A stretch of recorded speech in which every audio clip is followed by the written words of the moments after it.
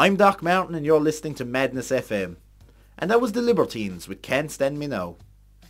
Around this time every week, I like to do the movie of the week.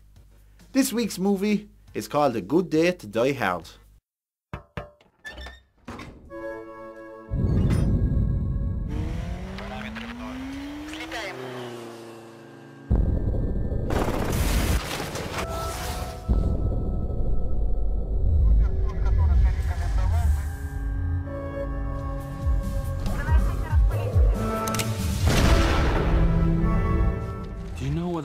About the Americans?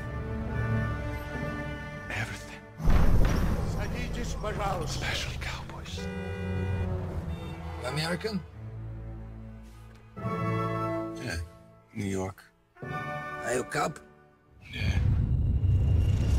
It's gonna be loud. How'd you know I was a cop? You don't look like a lawyer.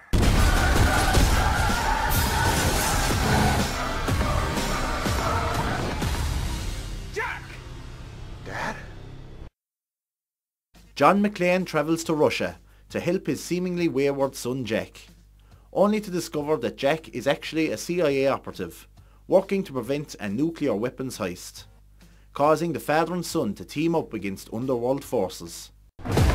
This is what you've been doing? 007 of Plainfield, New Jersey.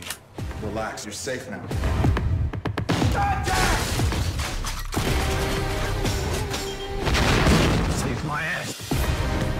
This guy's bad news.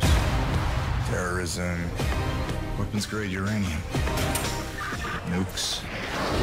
Someone's gotta stop him. Had a boy. Knock, knock. Whoa.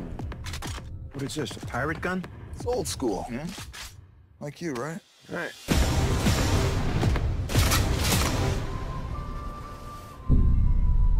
Guess you've done this before. Don't encourage him. Well, the film is packed with great action scenes, usually overlapping one another, cutting camera angles so fast that it's actually nauseous to watch. Despite so much action, there's no coherent storyline, nor any emotional appeal to the audience. The tension never rises high enough to grab the audience interest, and it ends quickly without any real climax. Basically, it falls flat in its face. Now I'm a huge fan of the Die Hards and really wanted to like this film, but I just couldn't. Me and my boy here. We're gonna put a whooping on you. Really? Really?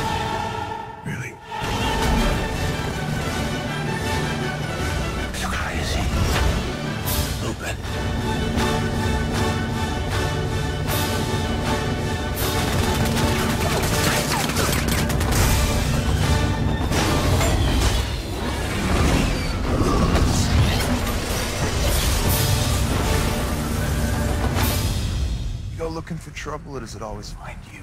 I still ask myself the same question. It's playing in the cinema near you. Wait for the DVD.